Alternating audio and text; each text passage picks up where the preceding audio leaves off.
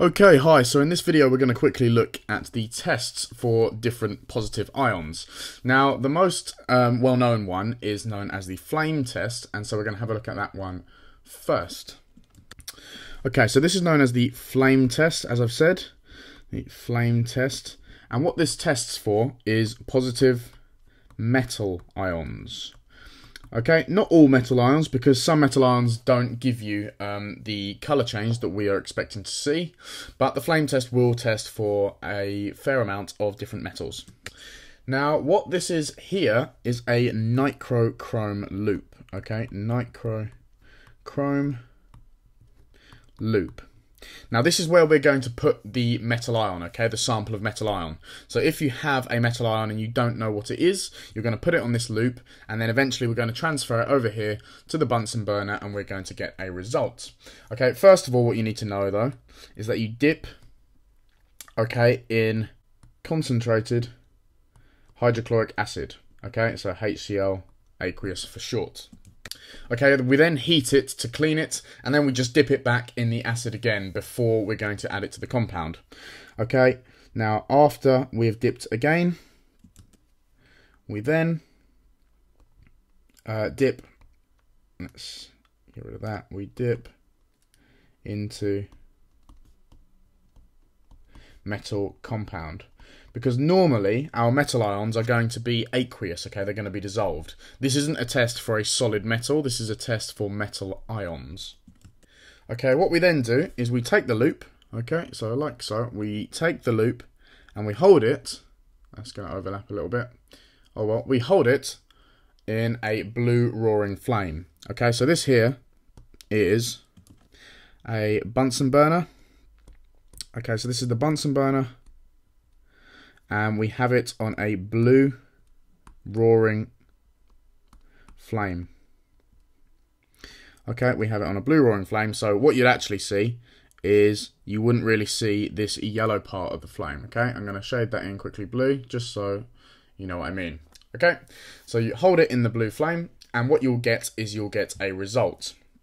Okay, so this flame is going to turn a different colour depending on what metal ion you have.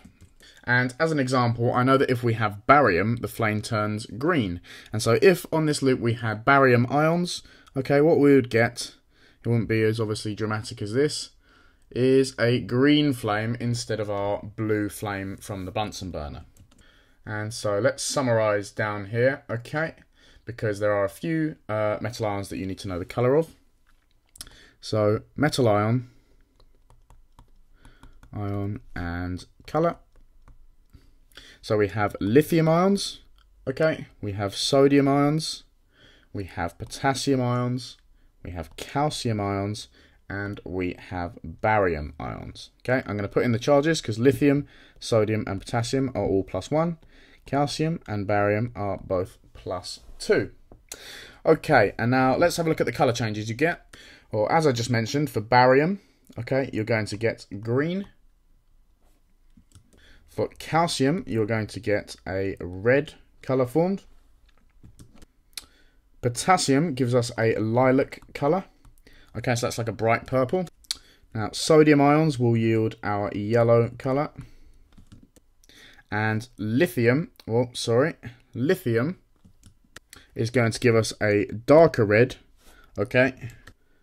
Darker red than calcium, okay? And we call that a crimson red. Okay, and so they are the ions that you need to know. Okay, and now there's one more test that you need to know, which is the sodium hydroxide test. Okay, so the sodium hydroxide test. Now, the sodium hydroxide test will test for three uh, different metal ions, okay? And those metal ions are magnesium, okay, so Mg Mg2+, plus. okay, calcium, Ca2+, plus, and aluminium, which is Al3+. plus. Okay, so these are the ions which uh, we can test for using the sodium hydroxide test.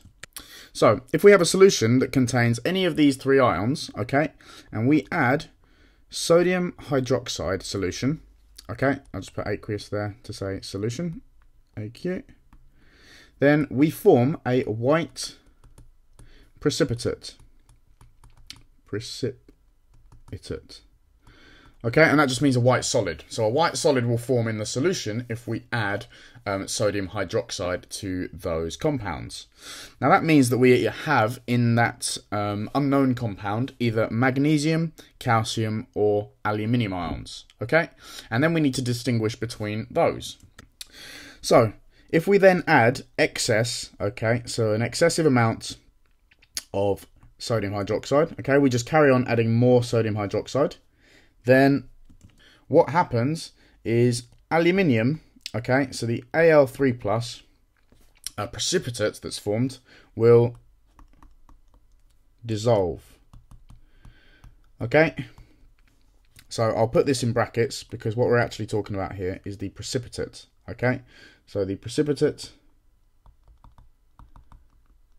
will dissolve. Okay, whereas the precipitates from magnesium or calcium, okay, won't dissolve, will not dissolve. So, now what we've got is we have a test for these three ions. So if we add the sodium hydroxide and we get the white precipitate, we know that um, our solution contains one of those three. Now, if we add loads more sodium hydroxide and that precipitate dissolves, we can say that it was aluminium 3 plus ions that were in our solution, okay? If it does not dissolve, then we can say, well, it wasn't aluminium, it must have been magnesium or calcium, okay? So then lastly, we need a way of distinguishing between these two, okay? So Mg2 plus and Ca2 plus, okay, can be distinguished by the test we've already looked at, okay, by flame test. Okay, because if you if you remember, I'll go back up and show you. Calcium, okay, which is here, produces a red flame. Okay, so if we carry out the flame test with our solution and it's red, we can say that it's calcium. Okay, magnesium produces no change in the flame color.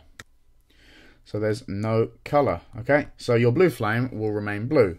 Whereas calcium ions produce a red, oh, sorry, that's a different kind of red, a red flame. Okay, so if we carry out the sodium hydroxide test and we obtain a precipitate, we can say it's aluminium, calcium, or magnesium. If that precipitate then doesn't dissolve if we add more sodium hydroxide, it is magnesium or calcium. If it does dissolve, it's aluminium. Okay.